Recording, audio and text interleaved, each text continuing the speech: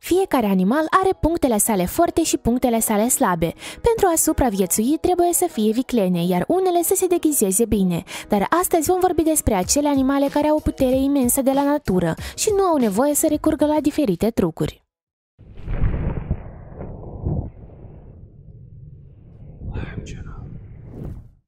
Caii Astăzi, în mare parte, lucrul din agricultură este realizat cu ajutorul tehnicii și nu cu mult timp în urmă, caii erau principala forță de muncă. Nu se spune în zadar despre o persoană muncitoare, lucrează ca un cal. Toți caii sunt foarte rezistenți, dar totuși unele rase au o forță specială. Dacă v-ați imaginat că cel mai puternic cal din lume arată așa, trebuie să vă dezamăgesc. Chiar și cei mai puternici cai nu sunt deloc asemeni culturiștilor. Una dintre cele mai puternice rase de cai din lume sunt Belgian Draft Horse. Cei mai mari dintre ei au mai mult de 2 metri înălțime și cântăresc mai mult de o tonă și jumătate. A apărut nevoie de cai foarte puternici în Evul Mediu, că nu orice cal a fost capabil să reziste cu cavalerul în uniformă completă pe el. Anume de la caii medievali de război au și apărut rasele moderne de draft horse, francez, englez și belgian.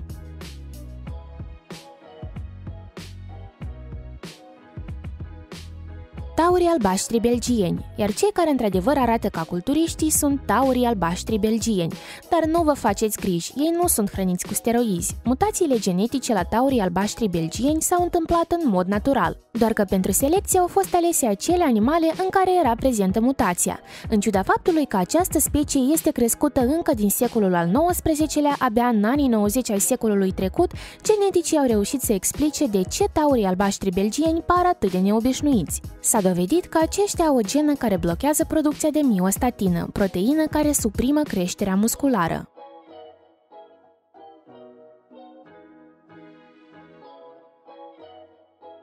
Cangurii Puțini oameni știu că cangurii sunt unele dintre cele mai musculoase animale din lume. Este deosebit de surprinzător faptul că una dintre cele mai puternice părți ale corpului lor este coada. Cangurul poate să se sprijine cu ușurință de ea și să facă o lovitură puternică inamicului cu ajutorul picioarelor. Cel mai musculos cangur din lume este Roger, care locuiește în parcul australian. Înfățișarea lui ar uimi orice culturist. Înălțimea lui Roger e egală cu 2 metri, iar greutatea e de 90 de kilograme. În ciuda aspectului, animalul nu este deloc agresiv. El este adorat de toți vizitatorii rezervației. Ligrul. Ligrii sunt unele dintre cele mai puternice animale de pe planetă și între timp nu toată lumea știe despre existența lor. Apropo, nu este greu de ghicit după numele acestuia, că este o încrucișare dintre leu mascul și o femelă tigru. Dacă tatăl va fi tigru, iar mama leoaică, apoi astfel de hibri se numesc tigoni, dar sunt mai rari decât ligrii și nu sunt atât de puternici ca ei. Cel mai mare ligru din istorie, Hercule, este exact de două ori mai mare decât un tigru obișnuit. Când Hercule se ridica pe picioarele din spate, înălțimea sa era mai mult de 4 metri.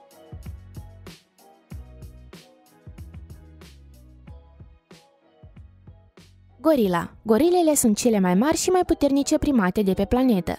Dacă oamenii trebuie să depună efort în sala de sport pentru a da mușchilor relieful dorit, stilul de viață al gorilelor le ajută să arate ca un culturist adevărat. Activitatea fizică este necesară pentru supraviețuirea speciei, pentru a obține hrană și pentru a proteja descendenții.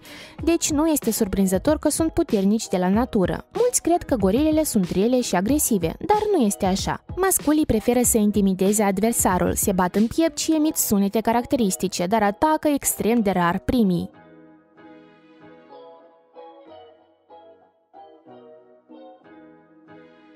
Elefantul african. Elefantul este cel mai mare mamifer terestru. Elefanții africani pot cântări peste 12 tone. Sunt capabili să prăbușească cu ușurință un copac întreg. Nu este un secret pentru nimeni că trompa lor înlocuiește cumva o mână, dar nu există om în lume a cărei mână ar fi la fel de puternică ca trompa unui elefant. Datorită acestui organ, animalul este capabil să ridice o greutate de 300 de kilograme, în timp ce trompa în sine cântărește până la 135 de kilograme. Datorită unui sistem complex de mușchi și tendoane, cu ajutorul trompei, elefantul poate ridica atât un butuc imens cât și o crenguță subțire. Bursucul Poate mulți vor fi surprinși de faptul că bursucii sunt animale destul de puternice. Dimensiunile lor ajung uneori la un metru și o greutate de aproximativ 25 de kilograme. Ei sapă vizuini care în cele din urmă se transformă în adevărate orașe subterane, iar acest lucru necesită labe foarte puternice. Aceste animale sunt suficient de inteligente. De exemplu, dacă trebuie să treacă peste un gard înalt, se vor gândi să pună un buștean pe perete și se vor urca pe el.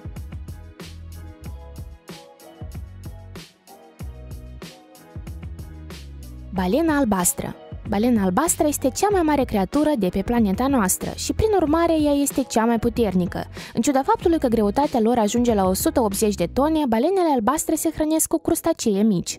Adevărul este că trebuie să le consume în cantități incredibile. Înătând încet, balena își deschide gura la 90 de grade și colectează apă în ea. După aceea, animalul închide gura și cu ajutorul limbii împinge apa înapoi prin osul de balenă. Planctonul se așează în același timp pe marginea osului și apoi este înghițit. În așa fel, în timpul unei astfel de deschidere a gurei, balena absorbe aproximativ 60 de kg de crustacee. Grizzly. Grizzly se traduce din latină ca ursul înfricoșător și astfel de denumire aceste animale le-au primit dintr-un motiv. Sunt una dintre cele mai feroce și periculoase specii de prădători ai planetei.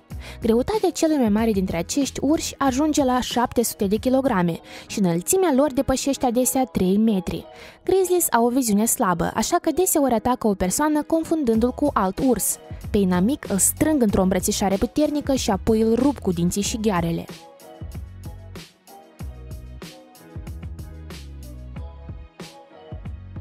Leopardul. Leoparzii sunt animale puternice și rapide, care au o reacție fulgerătoare. Prada lor este destul de grea, adesea o tărăsc pe copac și apoi abia se apucă de mâncare pentru ca nimeni să nu o ia de la ei. Imaginează-ți câtă putere ar trebui să aibă un animal pentru a se urca chiar în vârful unui copac cu o zebră în dinți. Furnicile. Desigur, o furnică nu poate ridica o zebră, dar totuși aceste insecte sunt cu mult mai puternice decât multe animale de pe pământ. Dacă forța este determinată de raportul dintre sarcina ridicată și propria greutate, atunci furnicile câștigă. Nu orice elefant este capabil să ridice o greutate de două ori mai mare decât greutatea sa, în timp ce unele specii de furnici ușor târăsc frunze sau ramuri a căror greutate este de 50 de ori mai mare decât a lor.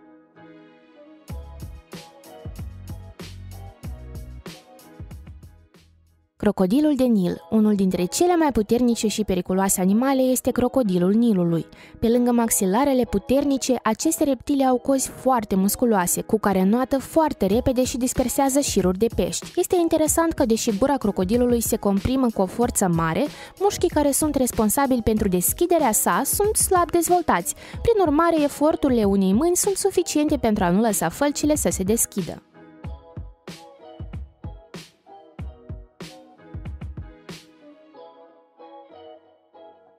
Anaconda Anaconda este cel mai mare și mai puternic șarpe dintre toți cei care trăiesc astăzi. Greutatea ajunge la 130 de kilograme și lungimea este uneori egală cu 6 metri. Are suficientă putere pentru a înfășura un porc întreg cu inelele sale și pentru a-l sugruma și apoi a-l înghiți. Tigru. Tigrii sunt considerați cei mai puternici reprezentanți ai familiei felinelor, deși unii încă mai cred că sunt inferiori în putere față de lei, dar tigrii siberieni sunt cu mult mai mari decât lei. Greutatea lor ajunge uneori la 300 de kilograme, în timp ce cel mai mare leu cântărește doar 200. Poate că dimensiunea nu este întotdeauna un factor decisiv, dar totuși avantajul în greutate sugerează că cel mai probabil un tigru ar fi ieșit câștigător dintr-o luptă cu un leu. Bou moscat. Astăzi, boii moscați sunt pe cale de dispariție și în timpurile trecute aceste animale incredibil de puternice erau folosite pentru a transporta greutăți foarte mari. Masa musculară a unui bou moscat constituie o cincime din greutatea sa totală. Vulturul. Cea mai puternică pasăre de pe planeta noastră este considerată vulturul.